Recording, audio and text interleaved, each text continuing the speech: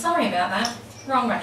I um, am a really massive fan of the group Evanescence. Now, I don't know if you know who Evanescence are, but um, the lead singer for Evanescence is a girl called Amy Lee, and I just think she's absolutely brilliant. And I don't respect a lot of chicks in the music industry, but she's definitely one of them that I do. Um, this is really very different, and I may need wine, but I've run out of wine, so it's just going to have to be water.